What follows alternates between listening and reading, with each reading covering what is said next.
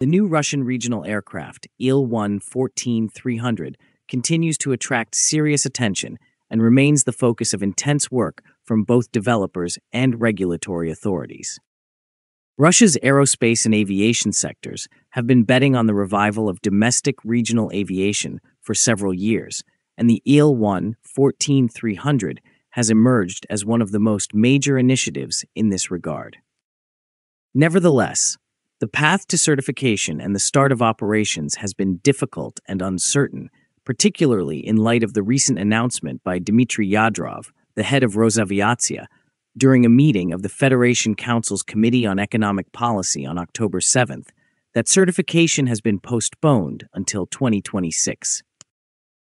Yadrov stated in his remarks that the Il-114-300 is currently in the final stages of certification and that the type certificate will be issued in the first quarter of 2026. This statement is in stark contrast to the assurances that were previously expressed in company press releases and at government meetings. Yadrov had already conducted a coordination meeting on certification progress in mid September, during which the managing director of the Ilyushin Design Bureau, Daniel Brenerman, announced that the aircraft was expected to be certified by the end of 2025. Nevertheless, the regulator's stance has changed, and the timeline has been adjusted. The Il-1 300 is designed as an advanced variant of the Il-1 100 It is intended to accommodate approximately 66 passengers and is outfitted with state of the art avionics and new TV7-117ST-01 engines to enhance efficiency. Three prototype aircraft are currently conducting the testing program, which includes structural endurance tests and engine trials. In addition to the fine tuning of systems, the development of a certifiable, dependable version necessitates the verification of operational suitability, safety, and durability. The project's primary objective is to replace obsolete turboprop aircraft from the Soviet era and imports including the AN 24, AN 26, ATR 42 and 72, Bombardier Q 300, and CRJ 100 and 200. The regulator has been compelled to extend the service life of Russian airlines operating AN 24 and AN 26 aircraft to up to 60 years while they await replacements, although they are already struggling to maintain airworthiness, according to Yadrov. These aircraft serve in regions with inadequate infrastructure, unpaved runways, and severe climates, conditions that the Il-1 14300 was specifically engineered to handle. The United Aircraft Corporation, or UAC, is expected to deploy the first three Il-114-300 aircraft in 2026 and produce a total of 51 units by 2030, according to Russia's Program for Aviation Development. The state owned leasing company GTLK, the State Transport Leasing Company, has placed a provisional order for 65 aircraft with the manufacturer. Anton Alikhanov, the Minister of Industry and Trade, stated in the summer that the first serial aircraft would be delivered to operators in August of the subsequent year. However, the certification delay may now necessitate a change in those plans. Notably, Aurora Airlines has been identified as a possible early operator and key partner of the IL-114-300. Aurora and GTLK signed a letter of intent in September 2025 to lease three IL-114-300 aircraft, with deliveries anticipated to commence in 2027. The leasing arrangement will be carried out by GTLK, the state leasing corporation. Initially, Aurora expected to receive the aircraft sooner, but production and certification delays forced an extension of the timeline. Aurora has reached a preliminary agreement to lease three Il-1 14300s through GTLK, with delivery scheduled for 2027. The first aircraft handovers to clients, including Aurora, were previously scheduled for the second half of 2026. At the same time, Several reports indicate that Red Wings Airlines is the Il-114-300's inaugural customer. Yuri Slyusar, the general director of UAC, announced at the St. Petersburg International Economic Forum 2024 that Red Wings would be the first operator, with a definite contract signed for the delivery of three aircraft in 2026.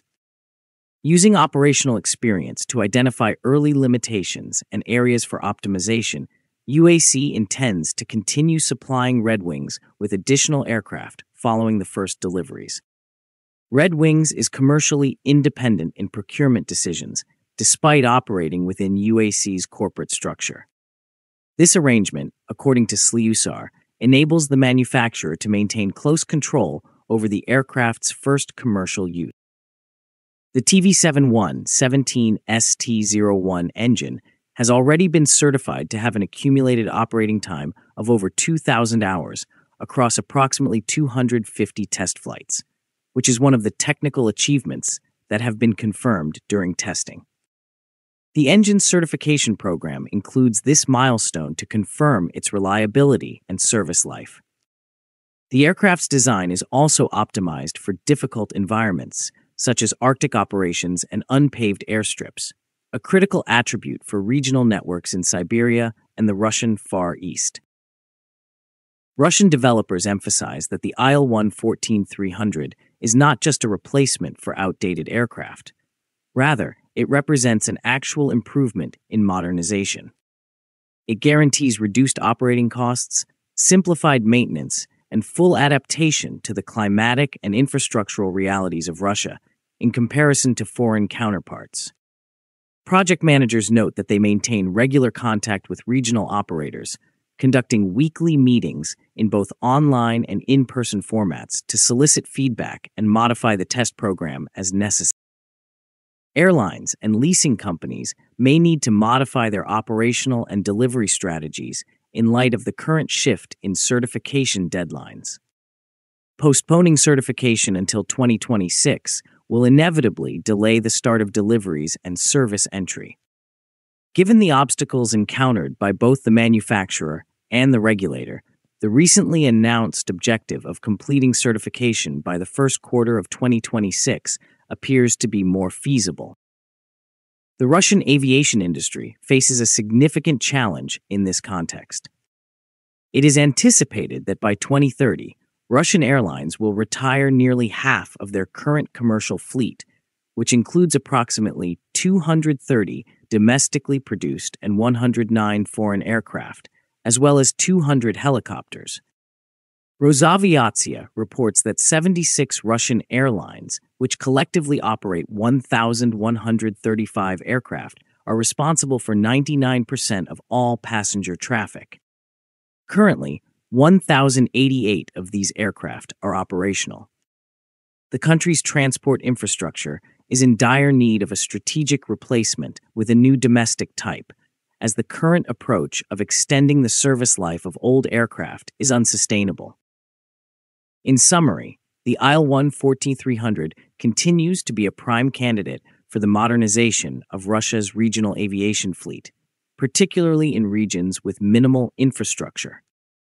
Nevertheless, the uncertain certification timeline raises concerns regarding the timely realization of the ambitious objectives.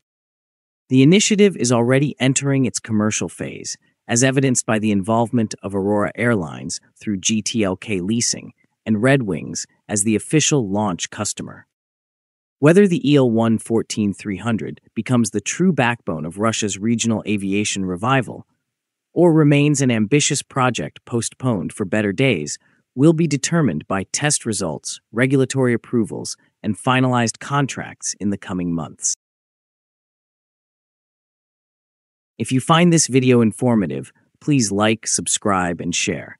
Please also take our membership to encourage us.